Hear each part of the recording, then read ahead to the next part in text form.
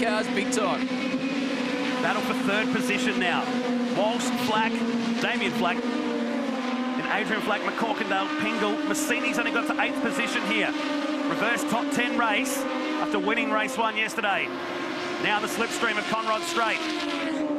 He's going to be careful not to keep weaving across. And you know what it's like there. You'll Well, smack him on the hands. Yeah, you can move once, but you can't just keep weaving across the race. Oh, no! Big crash! It's a massive accident. Goodness me. Oh, it's gone over the fence. And it's on fire as well.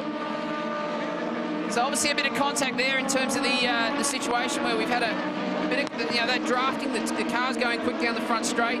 Bit of contact, and unfortunately, at that speed, it um, it obviously creates a problem. So red flag's out. They'll pull that one up and uh, and get the field under control. Going far too quick to be doing that kind of stuff. Just shows you how quick they're going and red flag has come out. So I think it was the two brothers that uh, had that slight bit of contact, unfortunately, but um, it uh, is not, not a pretty situation, unfortunately, but hopefully he's okay. He's had a big accident, big rollover, and uh, yeah, not, not a nice one to see.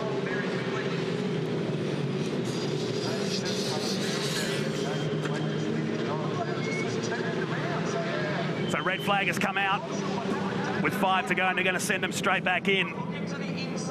The Zuba gang that led us around to the red with Chamberlain. We talked about it, didn't we? The, the slipstreaming down the straight, moving across. You've just got to have respect for the races around you.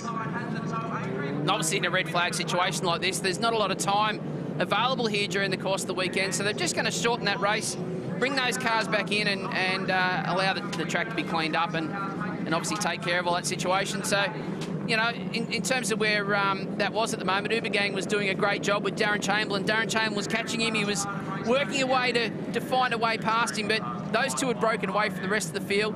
And uh, it was going to be Uber Gang that got to the, uh, the finish line first. With only two laps, I'll probably declare that a non-race.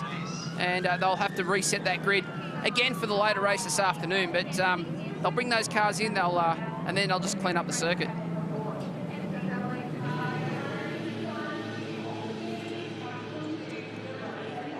So the red flag has come out here. The cars head back in. We'll keep you posted on what's happening. Unfortunately, that brings to an end race two of the Aussie Racing Car Super Series. My thanks to Jason Bargwanna. It's going to be a busy day here. The Super Cheap Auto Bathurst 1000.